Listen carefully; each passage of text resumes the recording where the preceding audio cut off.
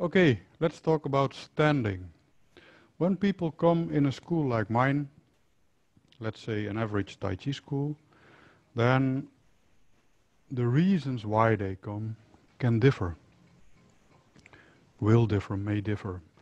Um, some people are looking for actually some type of meditation, um, but they do not have the rest or the faith um, to just sit at home and find tranquility. So they come for a teaching. Um, other people uh, want to work on their health and they have heard about things like Qigong, so they come for that. And then there are those who uh, enter a school like mine because they want to learn to fight eventually. And of course there are always these people who just like the movement or the culture, the art in itself, so to speak. Um, so many entrances. And um, all these entrances can be caught into in four symbols. And now I'll get the board. I present you four symbols. So forget the, the words for a moment. A triangle, a rectangle. Well, what does it look like? Uh, an apple that you've just eaten from, so to speak, and a circle, a full circle. The four entrances to the art, and actually they cover the entire art. Uh, what does it say? Um, well, first of all, uh, they stand for the several disciplines that you practice. So there is the sitting meditation. You can imagine a head and the folded arms and the crossed legs uh, inside. So that's um, the discipline of sitting meditation. Standing meditation, erect. Well, and then the Qigong. And this actually is not per se uh, the fighting part of the art, but um, I'm standing in the dark. It's not the fighting part necessarily, but also, um, well, maybe acupuncture or massage, whatever your discipline is. So, um, like I said, uh, your skill in the world. Um, and what do they do? Well, every, first of all, like Qigong, every exercise does everything. But it amplifies a certain aspect. Sitting meditation amplifies the building of yin qi. Standing meditation uh, amplifies the clarification of yin and yang. The distinguishing uh, part, that is. The Qigong or the solo practice, notice the arrows up and down, uh, they, which they symbolize move, movement. So after clarifying yin and yang, you can circulate it. And then there's the skill in the world, using yin and yang, so to speak, where you war, you use your the power that you have practiced. Um, and of course, today we talk about the standing meditation part, and that is actually because, um, well, every symbol has an umbrella function. So, you, like I said, you come in a school like mine with a preference for one of these four, and eventually, if you stay long enough and you practice seriously enough, then you will acquire, um, well, the, the, the, gains and the benefits of all four disciplines, uh, the, the individual disciplines. Now, um, that means that if you come for sitting meditation, if that is your thing, you also practice the other three, but they will enhance your sitting meditation. If you come for standing meditation and you put that one on top, well, not many people come for standing meditation, but imagine that you do, then uh, the sitting meditation and the Qigong and your skill in the world will enhance your standing meditation. If you come for the Qigong, you put that one on top. All the three others will support your Qigong. And if you put the skill in the world uh, on top, then these three will improve your skill in the world. So um, it's a bit interactive and there are not actually these clear borders when uh, something is what uh, because there is a hidden aspect uh, in the game as well and that is the part of Isho Dantian. So I haven't written that up yet.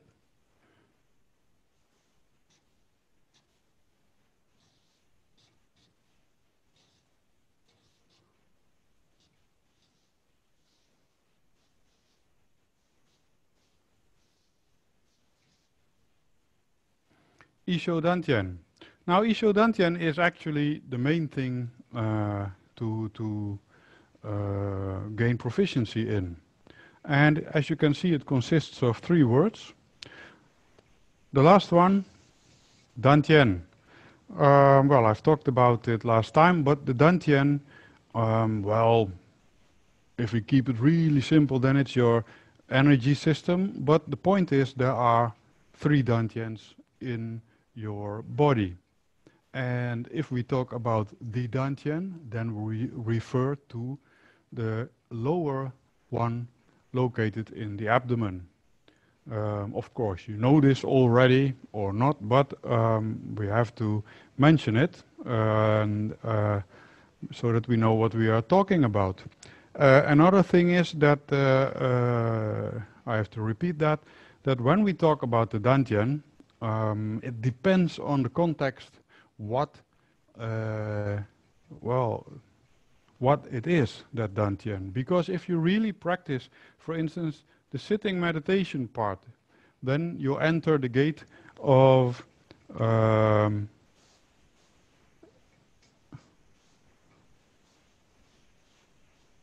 of internal alchemy.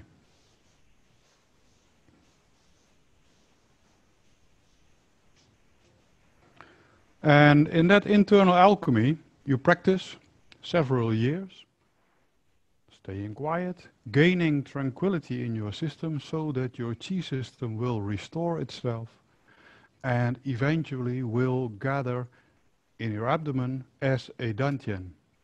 And that dantian is, well, it's as large as the tip of your little finger and it becomes really, really hot.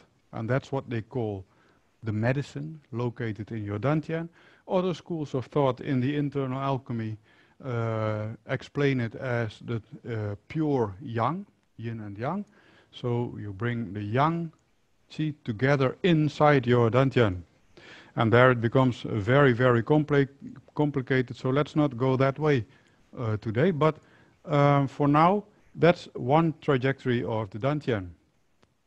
But if you refer to the Dantian from the point of view of a skill in the world, in our case, a fighting art, then the Dantian uh, refers to actually your center of gravity.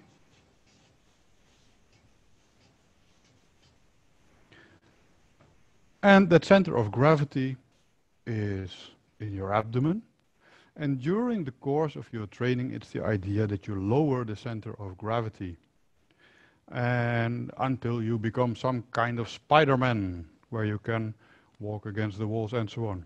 No, that's nonsense, of course, but um, you try to lower your center of gravity. How do you do that? By becoming aware of the location in the abdomen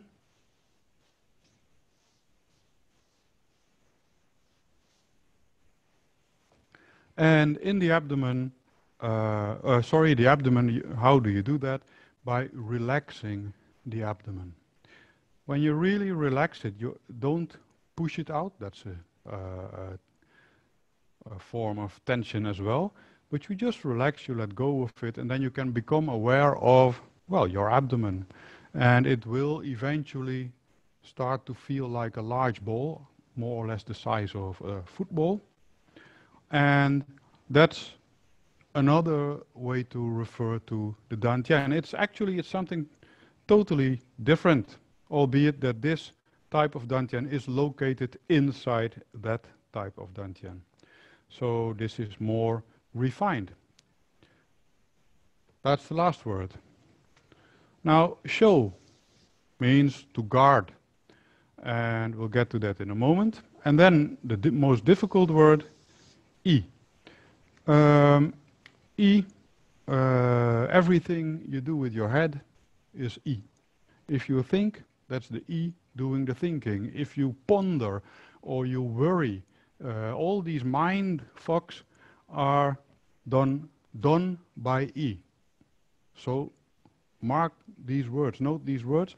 I'm not saying that is the E, it's done by the E.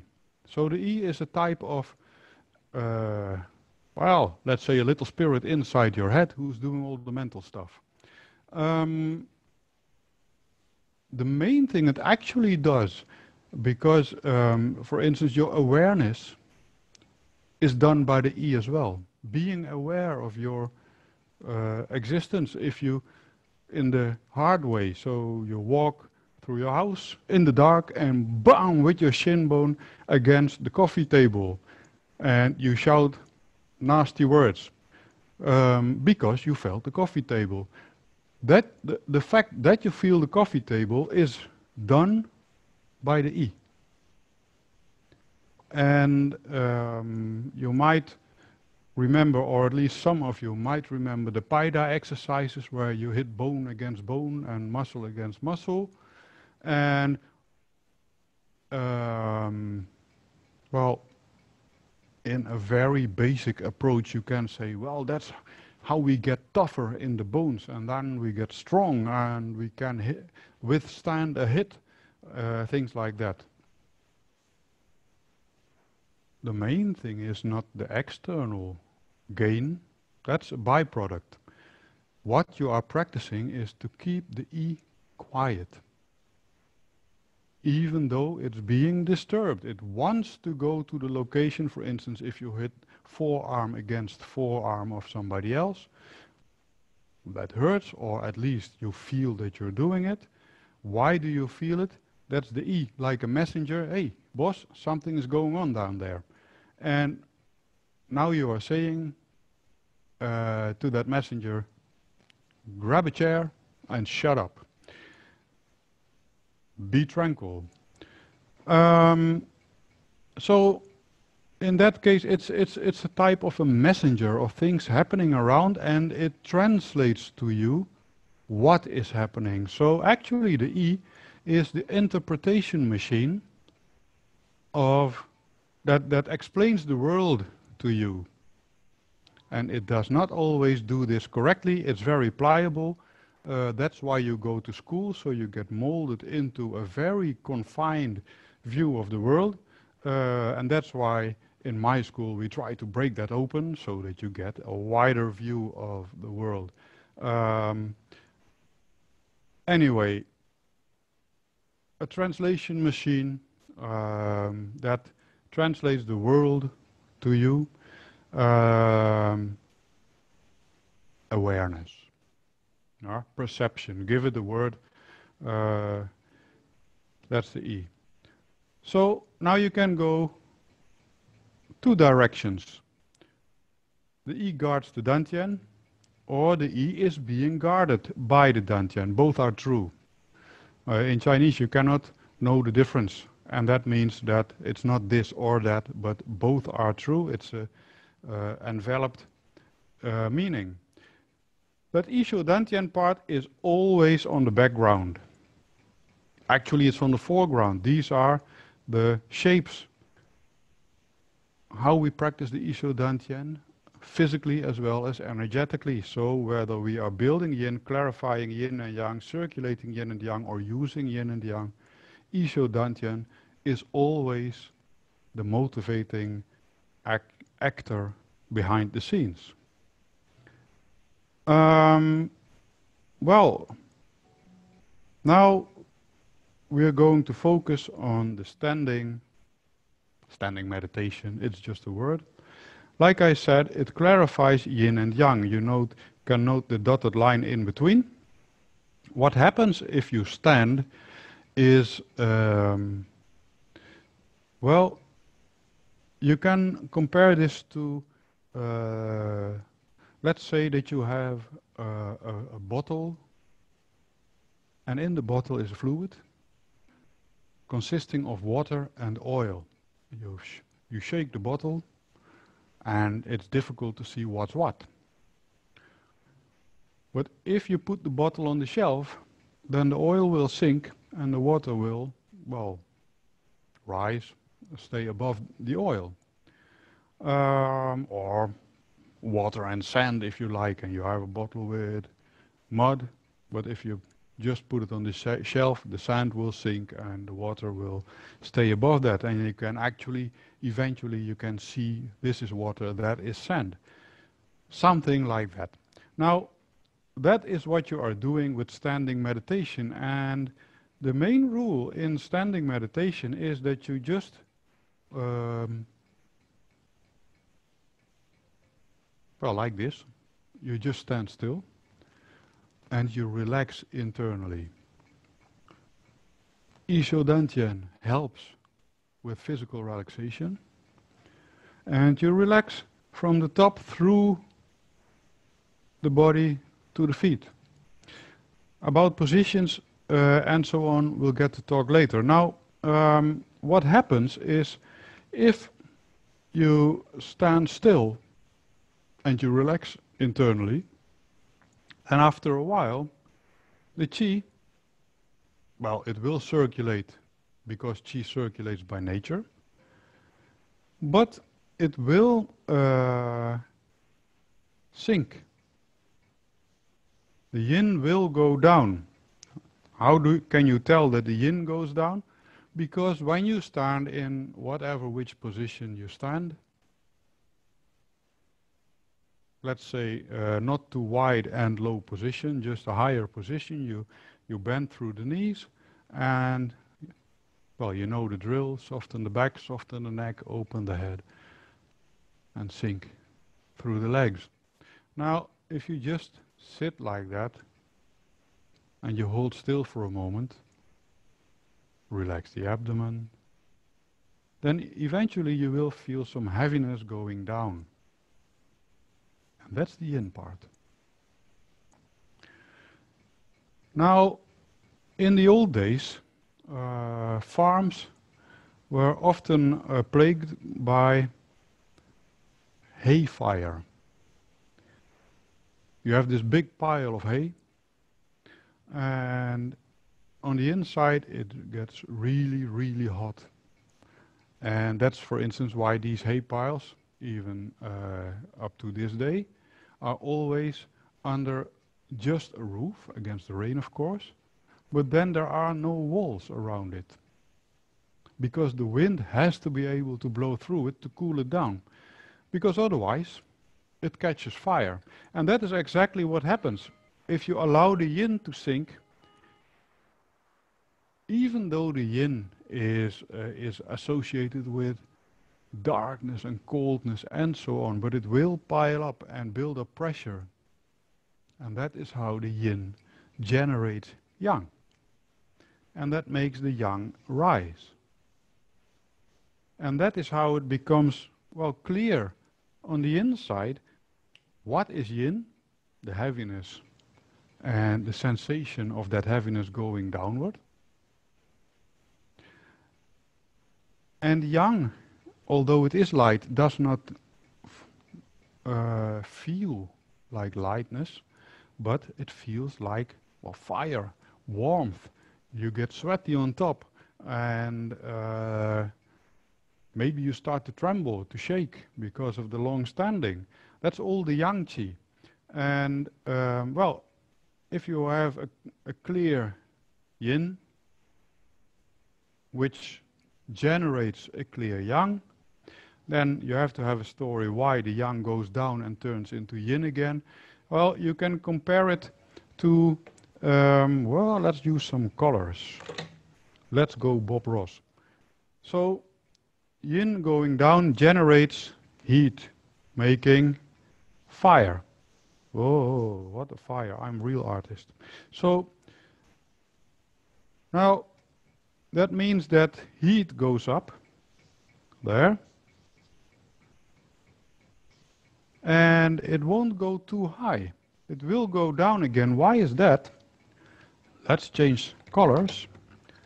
That is because the pressure of yin generates the heat, but the yin itself actually is it's cold, meaning that the coldness of yin cools the fire.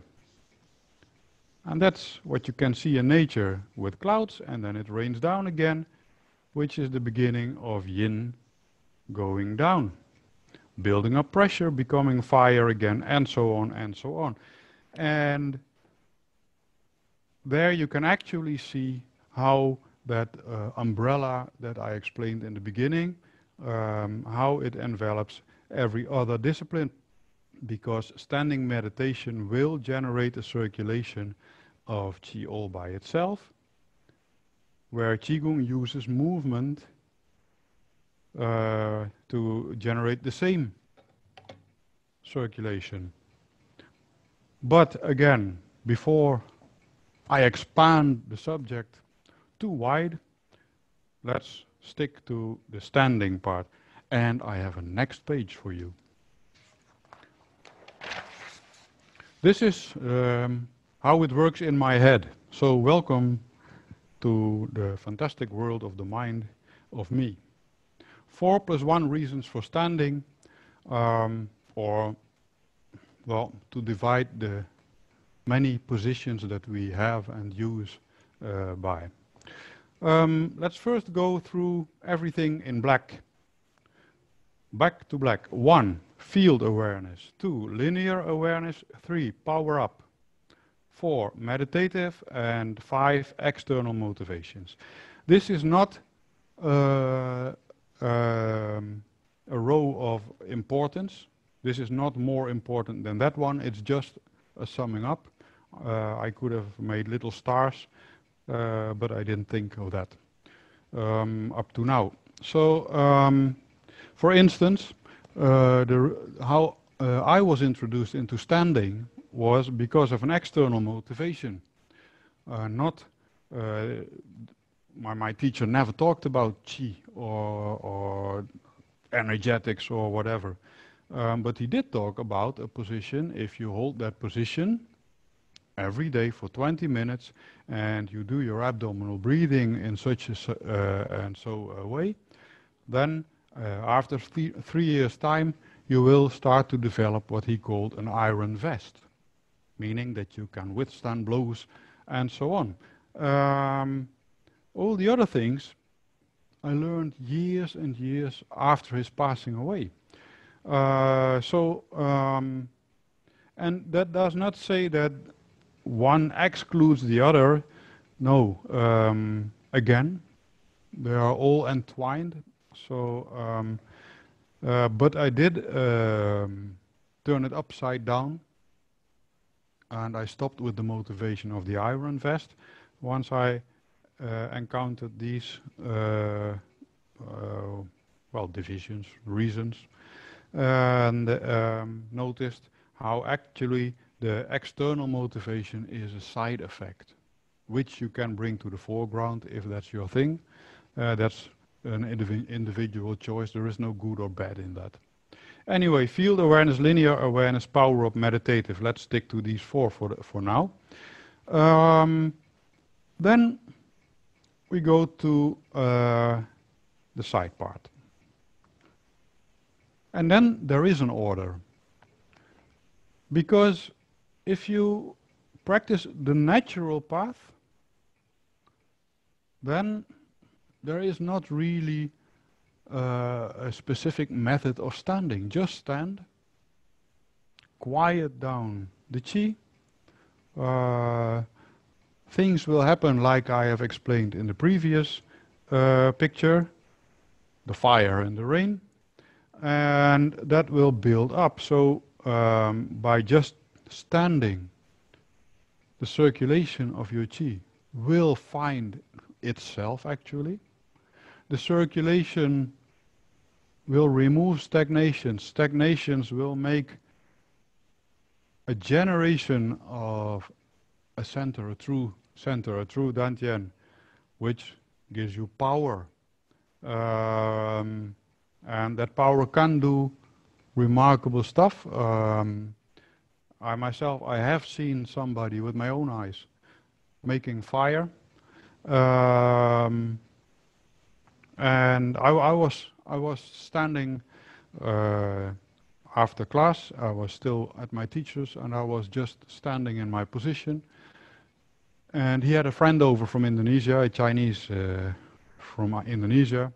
And as it goes in these days, uh, they were smoking and talking in, in, Indonesian. I didn't understand Indonesian. So at a given moment, uh, the friend talked to my teacher, and my teacher translated to me. Uh, he's asking if you know what you are practicing. So I explained what my teacher had told me. The external motivation, iron vest, and I can withstand blows. So the friend started laughing and blah, blah, blah against my, to my teacher. And my teacher said, okay, we were in the attic of his house where we always practiced. He said, now you go downstairs, ask my wife for a newspaper. In those days, there still were newspapers. So I went down two floors and knocked on the door of the living room and, uh, well, asked for a newspaper. And I got the Saturday issue really thick uh, with all special uh, pages and so on. Went up again, and, and I explain it to you in this manner so that it's clear to you that I was the one handling the newspaper the entire time. The friend, as well as my teacher, were dressed in Indonesian uh, shirts, batik shirts with short sleeves, and, uh, and that was it. So I came up and, uh, well, blah, blah, blah to my teacher and my teacher to me. Um, I had to pick uh, a paper from the newspaper and uh, the one that I liked and make uh, a ball out of it and put it on the floor. So I did. And I put it on the floor.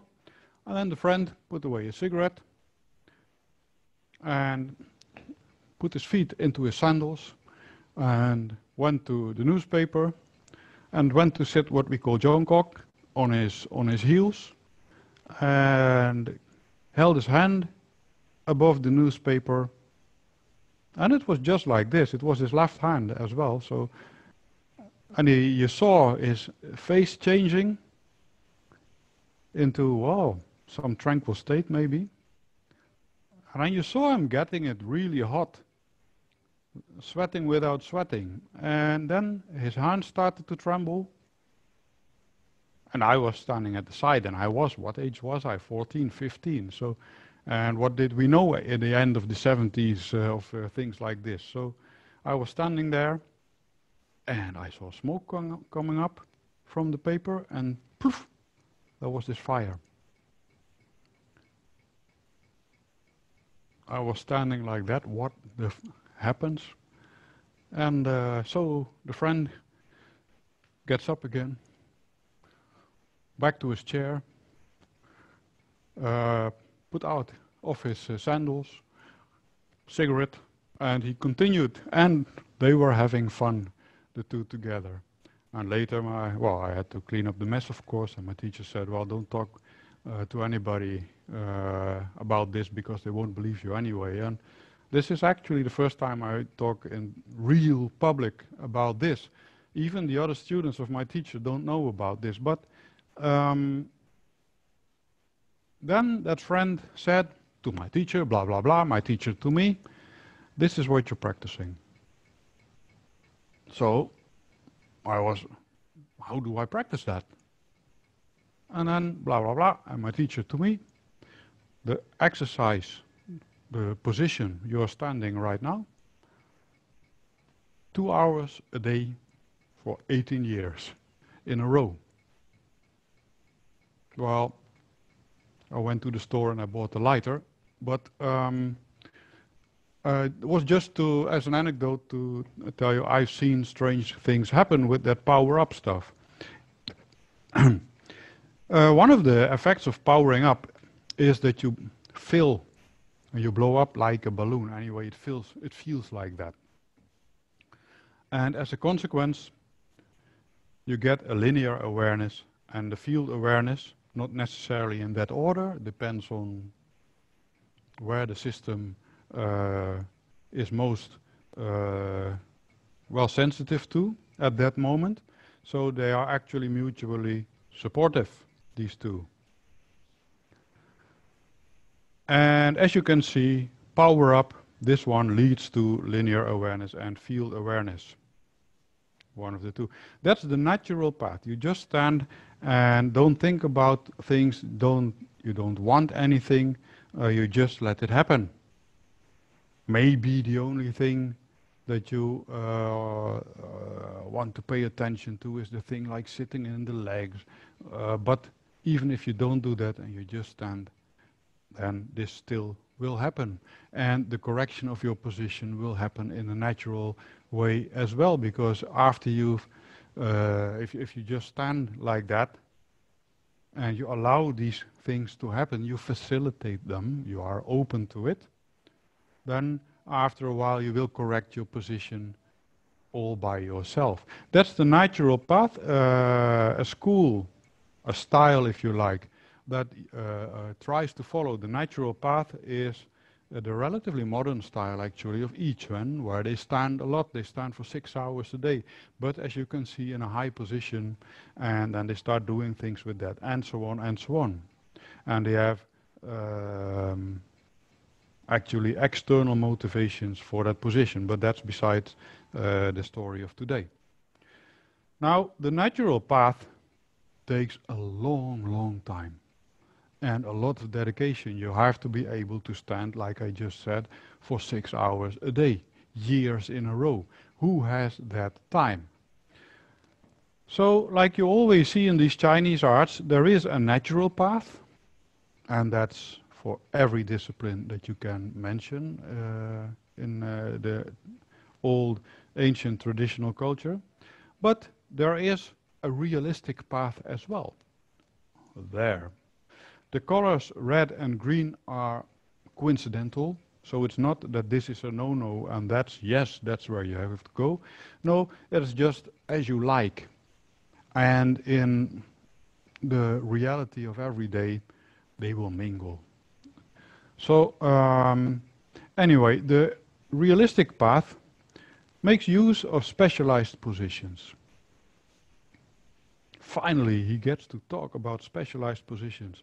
So, um, and then that means that if you prefer the meditative aspect, you want to bring that forward, you want to enhance uh, and accentuate that, then there are positions that are, uh, well, they still do everything, but like in Qigong, that uh, accentuate that aspect, or this aspect, or that aspect, or that aspect.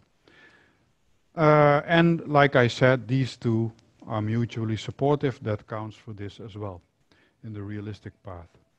So um, that covers this mess in my head. Nat uh, so remember the natural path, the realistic path. The difference is here you just stand. And all these things will happen all by themselves. Takes many years and you will be dead before you get the end result.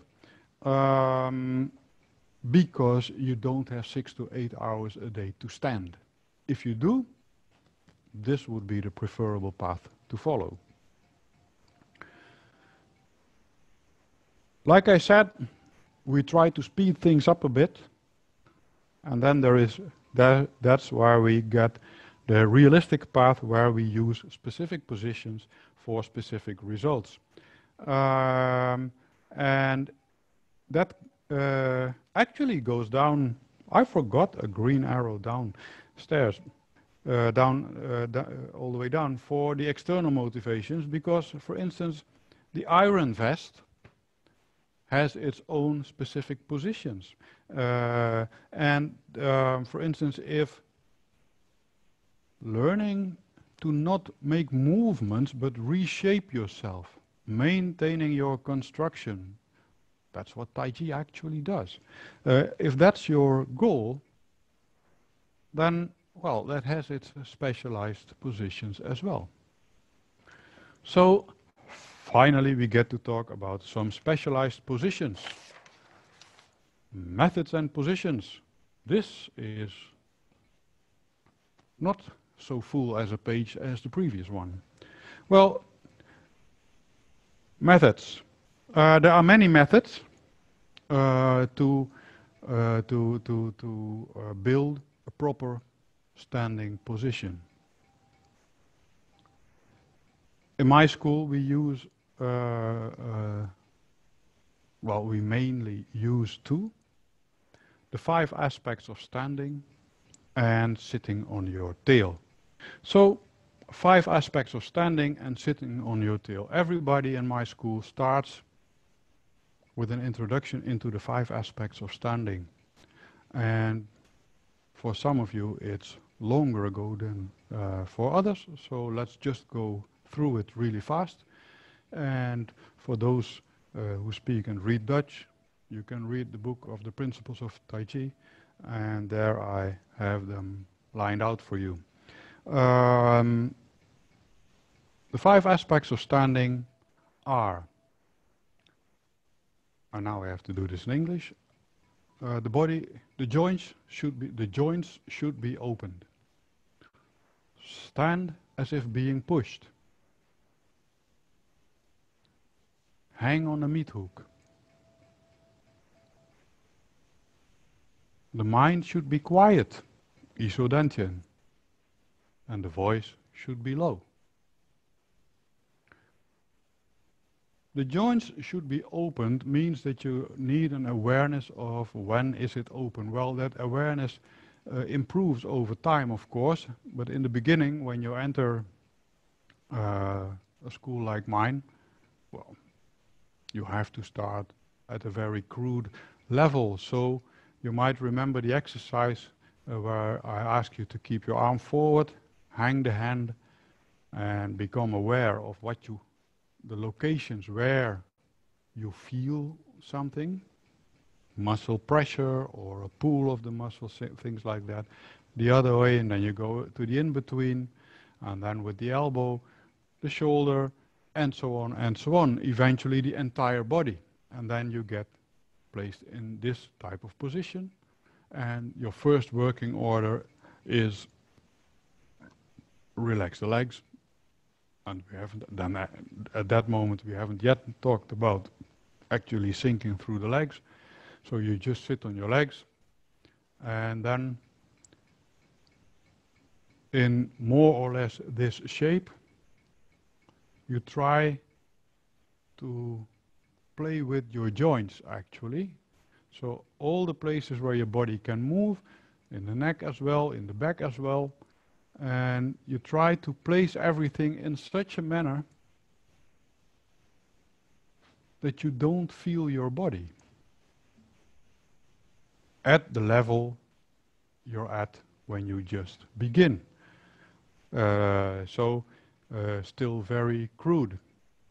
And then you try to hold that for a while and you will notice, anyway everybody seems to notice, that as soon as you lose your active mental control over the, these openness of the joints, then the body will crumble more or less and you can start all over again and so on and so on. So that's the first exercise you get um, with just the, the first of the five aspects. And then we add the four other aspects. So stand as if being pushed, still in the same position. And then somebody is pushing against the elbows, really, really show, slow. And it's up to you to detect the direction of the force. And of course, that force goes that way. So by holding your structure, your physical structure, like if it's uh, like it's explained to you at that time, uh, like if it's uh, constructed out of hollow tubes, you try to relax on the inside of the tubes and prolong the incoming force, prolong it downward towards your feet by internal relaxation. And of course you still will fall backward, but it will uh, you, you, will be able to hold your position for way longer and it will feel like you stand real heavy and so on. And uh, that's the second aspect. The third aspect hang on a meat hook uh, is actually the counter force because if you practice the stand as if being pushed component, well, you can see that goes downward. What are you practicing? Yin Qi. So you have to not generate, but facilitate Yang Qi. What is the difference between generating and facilitating? Well, the Yin Qi generates the Yang Qi because of the pressure of Yin, the heaviness. It generates heat, which is Yang, which wants to rise. The Yang wants to rise, and now it's up to you to facilitate the rising of Yang by opening up your construction in, well, in such a way that you can feel or become aware of the Yang reaching the top. Um, that means that you have to not only open up your body, aligning it in a sideways manner and putting all the vertebrae, aligning them and so on, but in a vertical manner as well, because we are actually, the top of our head is being pulled down by gravity, so we are a bit like a turd on the floor. Um, hopefully less smelly, but, um, but still, and what you want is that you do not stretch your neck because then the muscles will uh, tense up and, uh, well, make, uh, and they will hinder, the, that tension will hinder the rising of Yang Qi. But if you reverse the idea, like if a meat hook is uh, pricked through your flesh and you're hanging on it, well, if you really put all your weight down, then it will tear your skin. So you want to be careful. You want to sink downward, but make sure that the skin does not tear. So keep your head up, which is a song, and I'm not going to sing it for you, but it gives you openness in the lengthy direction. So the first three of these five aspects concern actual physical control. The fourth aspect, no thinking, or a quiet mind, Isho Dantian. In, uh, well, you just enter a school, you're a beginner, so the Isho Dantian is being explained to you, but just really fast, it's only mentioned, uh, because, well, you're not there yet. Um, but what is being explained to you is if you stand there for a longer time, 20 minutes, your thoughts will go wham, wham, wham, they will flash into all directions. That's okay. You cannot forbid yourself to think. Thinking is what people, what man does. It distinguishes us from the rest of the world and it really helps us ruin that world. So we have to continue do to do that. But um, now, the the the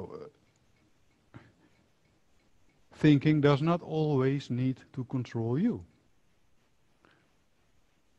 So when you stand, many things will come up.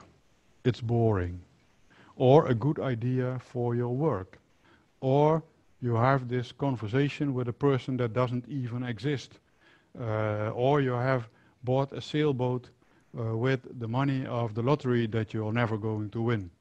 Things like that. The mind is a busy monkey and it will continuously ask you for a banana. Now you stop giving it a banana.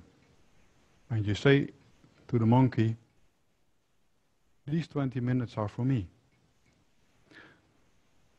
So what you get is you go through your mant mantra of aspects of standing, the joints should be open, stand as if being pushed, hang on a meat hook, and no thinking. And what you do in the no thinking is actually you relax the abdomen,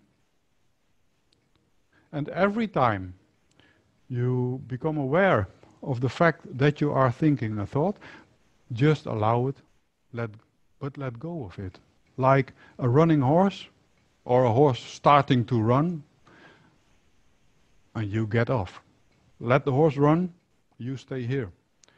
So every time you become aware of yourself thinking, you try to feel how you relax the abdomen. You try to, like Bruce Lee said, become the water. You become the abdomen. And you go, so you go down and you just stand there. And you go through your row of aspects.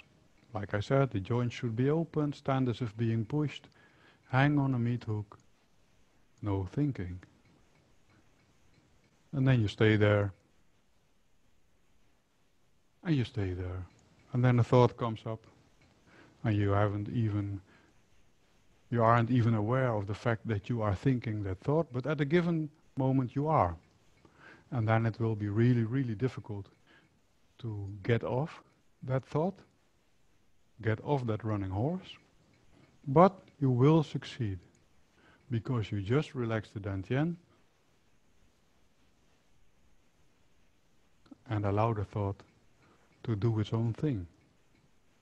Now, this might be a bit difficult, especially when you're just starting and just beginning. So, we have a fifth aspect, the voice should be low. Now I've been doing a lot of talking, so these muscles are a bit cramped up. But it's very, very important not to listen to a voice, but to hear, to feel it. And what you actually want is now, if possible through the microphone, try to feel the difference of my voice. Now I'm talking, and if you try to feel it, you might notice that your body starts to copy, and you can feel in your own body where I have tension, because now I am talking really up here. Now, if I slow down a bit and I relax, then the trembling of my voice will go down. And I'm not talking like that. I'm just relaxing all these muscles so that the vibration actually, sound is a vibration. The vibration does not only go that way, but it goes that way as well. And then I try to use a sound, um, and that vibration I try to use to not have it go that way, but only that way. And the most difficult gate to breach is here. So if you can reach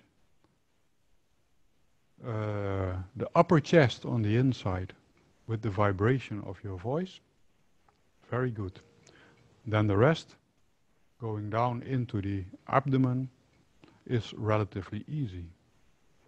So now we do not have these sessions where we all stand, but uh, well, with the Thursday class sometimes, but um, um, if we had, then you might notice that during standing, I am actually sometimes using a sound. And I use, that's my personal preference, that's not a rule, it's my, well, that's my name, but it's, it, uh, it's, it's not, you're not obligated to use that. You can make up your own sound if you like, but I prefer this, the om sound. And that is because it's the om, if you, if you make that sound, the word, if you just phrase the word slowly, oh. om, then you might notice that your mouth shapes like if it wraps around a ping pong ball. And then what you actually do is om. You relax and you relax and you relax and you allow that ping pong ball to go to fall down which is not easy, but it is actually a matter of muscle control. And that muscle control is very dependent on your mind relaxation. And there you have that actually the, the, the no thinking aspect and the voice should be low aspect, the fourth and the fifth aspect of standing, are interchangeable. They belong to one another. They help one another. So that's one method of uh, building your position. Once you have experience in that and it goes fluently and you know it all, then it uh, can be helpful to, well, not use these five aspects anymore because you use them automatically, but you continue to sitting on your tail, uh, which is just an abbreviation for the entire row, where in whatever which position, where you relax through the legs into your feet. And then you hear, uh, me, you hear me say it often, so sit on your legs, soften the back, soften the neck, open the head, sink in the dantian. Now, this row we call sitting on your tail because sitting on your tail, well, it does sound idiotic because we have no tail. Oh, did you notice? Yes.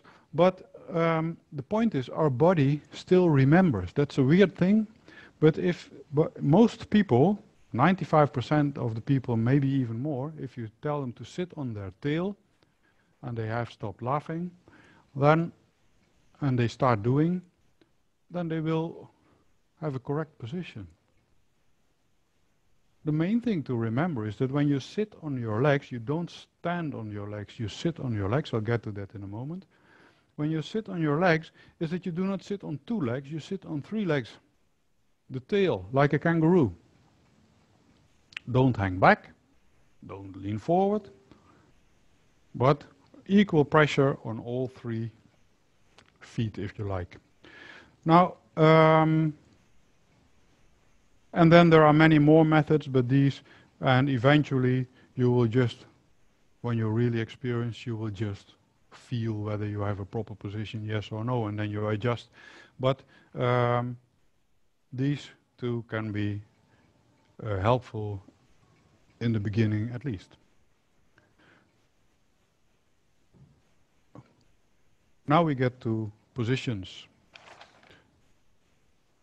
There are many types of positions and like Qigong where you have all these exercises, uh, uh, they all do the same thing, but they amplify a certain aspect within that same thing. There is a general rule, palms up or palms away, amplify the yang part of the exercise. The palms towards you or downward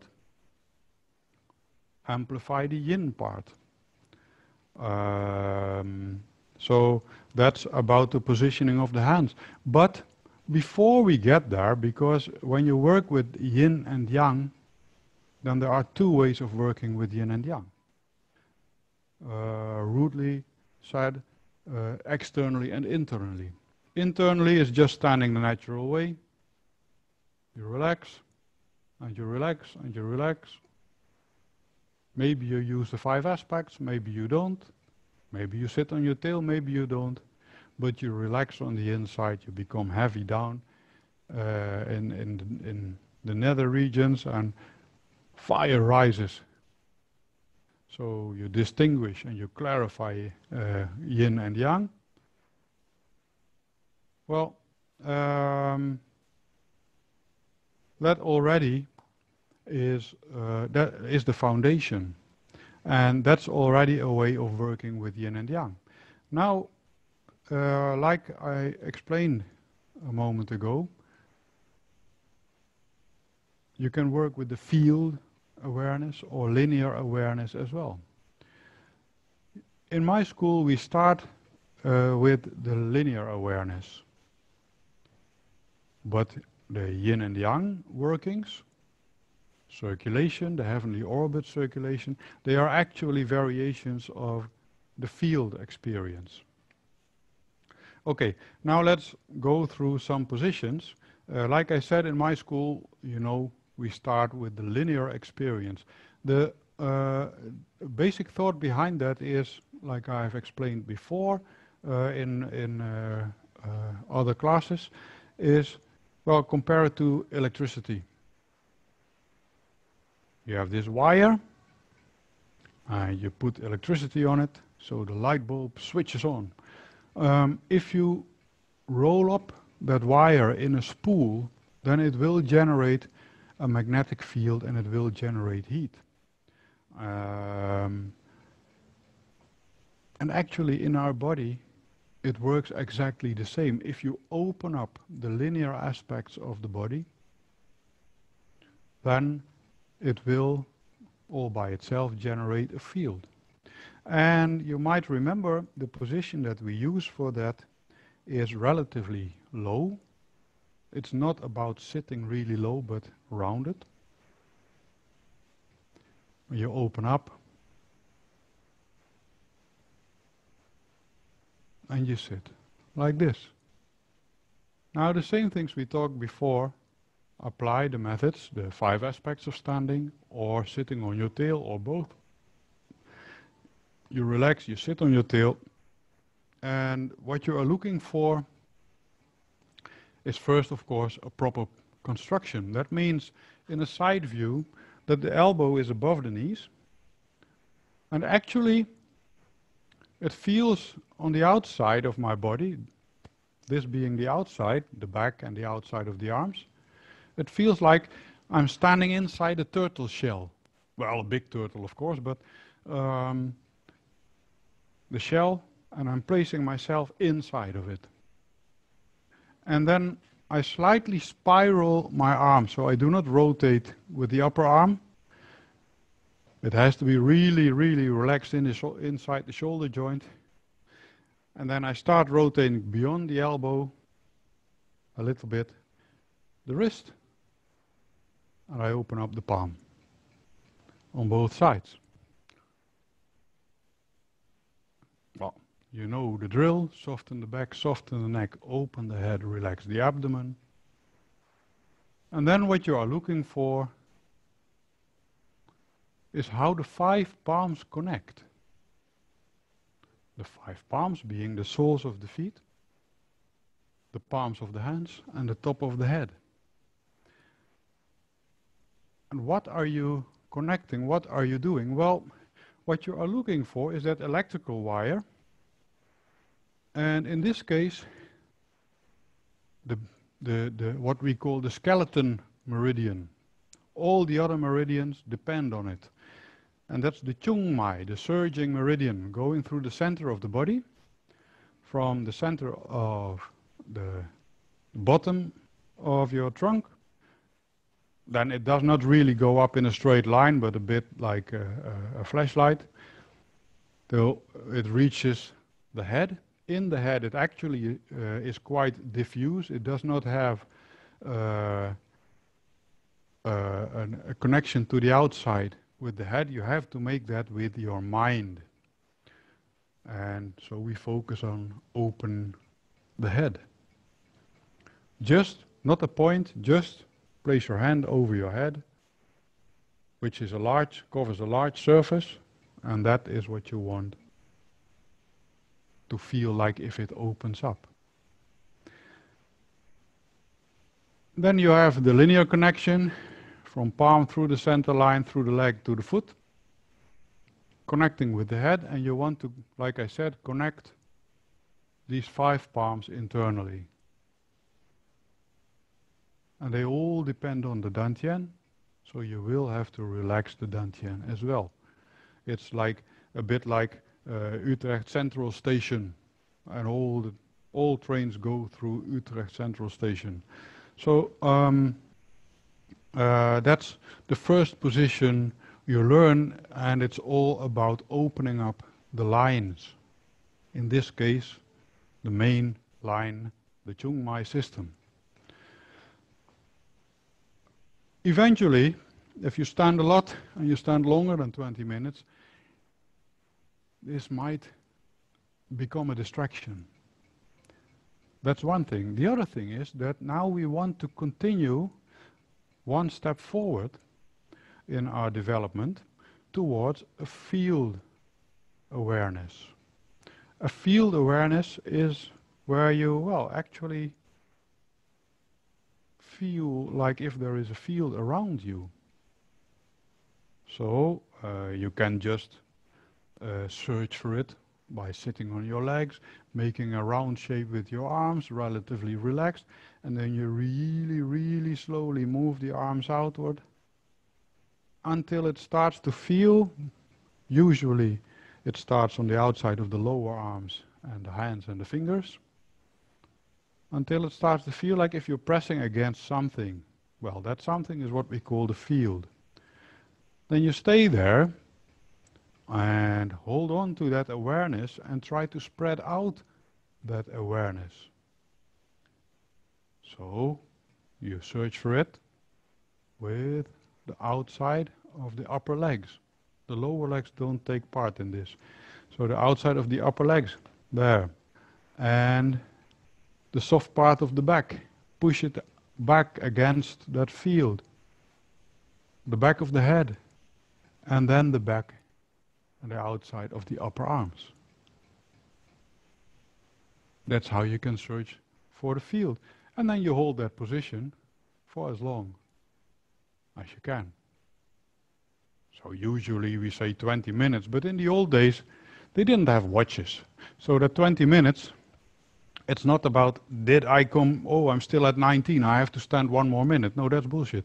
It's all about standing a long time, plus a little bit extra. So if these 20 minutes are 10 minutes for you, they might as well be one and a half hours for somebody else. Uh, it all depends on where you start, what type of person you are, and so on. But you stand, sit on your legs for a long time. So, the first position you learn, open up the lines, the Chung Mai system. Once you have the idea that the lines are opened, you just drop the arms, and there we get to the thing called the arm circle. If you hold your arms relatively high, notice how my elbows are a little higher than my shoulders without my shoulders being pushed up. There I can find a comfortable position and we call that the upper arm circle. Now if I relax them suddenly I, and I allow them to drop, then they will stop all by themselves at this position. You can check that for yourself with your own arms. Um, this is the shoulder circle. If I do the same again, they will stop here, the lower arm circle. So here we have three heights of arm circles. And now you know uh, the, uh, the, the principle of the shoulder disc. So if I want to bring the arms backward, I have to bend over forward. If the trunk rotates, the upper arms rotate. And this is how I bring the arm circle backward, the backward arm circle. And then, if you bring this forward, you can get an inversed arm circle. So this is a circle, but inward. So there are five types of arm circle possible, and you will see in the inter internal arts that their positions are always combinations of, uh, consist of combinations of these five arm circles. Now, what does it mean for our position? That I just drop my arms from here to the lower arm position, still slightly spiraling out. One palm can feel the other palm, the elbow is above the knee. Then I search for the field and then I have open lines and the field awareness at the same time. It's the limitation of the mind. So you pick one do you feel, uh, are you, and which one? Well, the one that announces itself. Just practice what announces itself in your energy system. Now we've talked about sitting in a lower position. That brings us to the type of position you use. In the natural path, just standing like this is okay. And I must say I practice it a lot. I mix it a little bit, so I actually sink through the legs. I sit on my legs. I have my hands resting on the top of my thighs because if I have them loose, then they hang on the shoulders. And here I can dissolve that sensation. And then I just stand and sit like that. And at a given moment, the soup is ready and uh, I'll do my thing again. So, um, the height of the position depends on what you want to achieve and what you want to train. If you want inner tranquility, then don't make it too heavy on the legs. You do have to sit a little bit for relaxation purposes, uh, but uh, not too much. So why, for instance, a wider position? A wider position, as later on, when you're really proficient, it doesn't matter what width of position you use, because you can uh, uh, find the benefits of uh, whatever which position in whatever which position you choose. But once when when you go through your introductory phase, then there is a reason for a wider and round position because a few reasons. One, when you sit in a rounded position, it is really good possi really possible to relax the legs. Of course, you will feel more tension on the top and on the outside and on the outside of the lower leg. And if the legs really, really relax below that, so the hamstrings are soft and can wobble and your buttocks are soft and you, you can do that, then you are hanging on the outside muscles and the inside can relax. That is how it feels to sit on a horse. Well, and then you soften the back, soften the neck, and so on. And you maintain that sensation in your position, and that is a thing in your chi flow. That is a reason to sit in that low position, in that height of a position. So if you're just looking for tranquility, you just have this height. If you are doing some energetic exercise, where a chi flow through the legs is an important part, then the legs need to be relaxed, which is impossible because you stand on them. So you smuggle a bit. You sit like this, and yes, the outside is tense, but the inside can soften. So a chi flow is possible.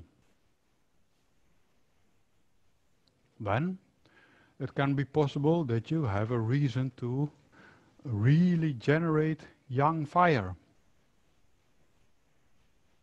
Then you go really, really low. Now, if you have a hip joint and a knee joint, now they are on top of one another, there. In a rounded position, it goes a bit like this, maybe even more, but the hip joint will always stay higher than the knee joint. So here I'm standing erect in a wide position, nevertheless, but and now here, this is the highest position where I can feel that I sit. Notice the hip joint versus the knee joint. The hip joint being straight above the ankle joint. It has to stay there. Now, when sitting, you automatically are practicing yin qi. If you want to facilitate the yang qi in a more active manner, then you go lower. That has its maximum. Physically, it's only possible to go this low. Because if I go lower, then the hip joint will go out of the line like that. But I have to stay there. What you try to achieve is the ear above the shoulder, above the hip joint, above the ankle joint. It has to stay in a straight line. And if you want to have a real yang qi practice, then you align the hip joint and the knee joint in a horizontal manner. So you go real down. Soften the back, soften the neck, open the head. Relax the dantian. Now the point is, that's all nice and well, and this is, well, you can practice this as well. My advice is don't.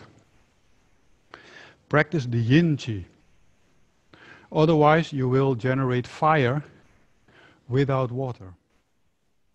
If you do so, the words explain themselves. Remember the previous picture of the natural cycle. A compressed yin qi generates fire, it generates heat, yang qi rising, but it will be pulled down again because of the coolness of the yin. So you get the yang qi actually generating yin qi as well. If there is not enough yin qi in this story, then the yang qi will stay up, meaning that you can't sleep, that you get uh, what you call it, uh, ADHD, uh, oh, I'm busy, uh, no yin. So don't do this unless you have a reason to. So that's about the heights of the position. The less mental your practice is tranquility or more physical. The more physical it gets, the reason why you stand, the lower you go. Um, then about the foot positions, because now I've talked about the leg positions with the height. The foot positions, uh, well, there are in general three types of foot positions. For many people, the feet outside, pointing uh, to the outside, is a relatively natural position. That's because of the pelvis construction. Um, and you see this, for instance, in Japanese sumo, where they stand with the feet out like that, and boom, and there they go, boom, and all that flesh trembles and makes the floor shake. Now, uh, in Chinese thinking, that position is a no-no. I'll get to that uh, reason why. Chinese positions are with the feet forward. Or with the feet in a V shape, like this. And then you bring one foot slightly forward, and there is a reason for that. Your foot has a certain length. And that length makes that you do not fall forward or backward. If you point your feet inward, then you shorten the length. So you will get, you might get unstable. So what you do is you put one foot forward and in front of the other, more or less making not a V shape, but type of almost a T shape, so that you have enough length and you can stay stable on your, in your position. Then there is another reason for this position which has to do with the legs. Uh, they support one another. Uh, you can just fall down and they will wedge against one another so you can sit uh, in that position. Now, um, so, but we were talking foot positions. The foot positions are a consequence of or uh, a cause for leg rotation. Now, sorry for that, leg rotation. And if you rotate the legs outward, you might notice if you sit like that, that you can relax really low on the inside. That's not good. Actually, that's quite dangerous for your Qigong practice. Now, if you relax the abdomen and you one time won't hurt you. If you relax the abdomen and you allow that relaxation to go down, you might even feel that relaxation reach the perineum. So in between the genitals and the anus. That's too low.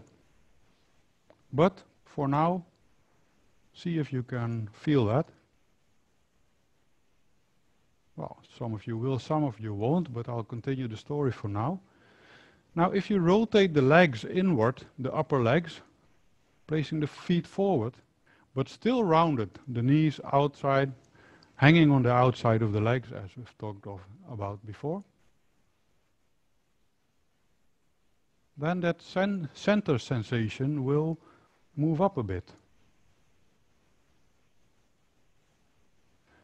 And if you really place your position like that, well, we'll get to that uh, once we can meet again, but then your center is at the height of the actual dantian. So we have a combination of how you place your upper body and how you place your legs. And you can change top and bottom with one another as you like for the reasons that you need. And the reasons are we just talked about. What are you practicing? Are you practicing searching for a linear openness? That's for beginners, but also, for instance, when you've injured yourself on the surface, you kick with your shin against the coffee table, like I mentioned, or you've broken a leg or an arm, open the lines. Practice that. A field sensation. When are you searching for a field sensation? A field sensation does usually imply roundness in the legs as well, but you do not have to go really, really low. Just roundness and fixate the center with the foot position. That roundness, uh, there is this weird thing in your energy system that once it's tranquil, that's a, pre that's a precondition, but once it's tranquil, it will fill the void. It will repair, it will restore. And if you are round, then you actually make your body larger than it actually is. Because that's a weird thing with the field awareness. Your body is not here. But your energy system will uh, take that into consideration as well, and it will try to fill that void as well. So you get more chi. And then there are special exercises to confine the chi into your center. Um, so that's uh, the field sensation. The meditative aspect, Isho Dantian, if you're just practicing for your general health or for your martial arts, then the Isho Dantian aspect is most imperative because almost any disease is only there because you believe in it. And that's a dangerous thing to say, I know, especially in these times, but um, it is a, the mental aspect in battling disease is a thing. You are your own medicine. Isho Dantian no awareness, no registration from the outside world, and stagnations are an outside world for your energetic system. So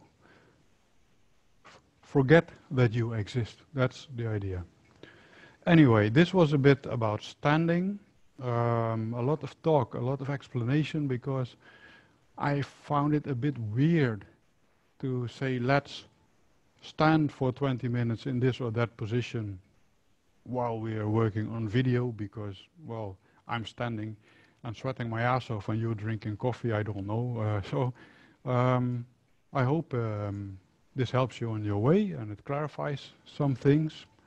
And, um, well, we'll continue from here another time. For now, have a nice evening. Stay safe. Stay healthy.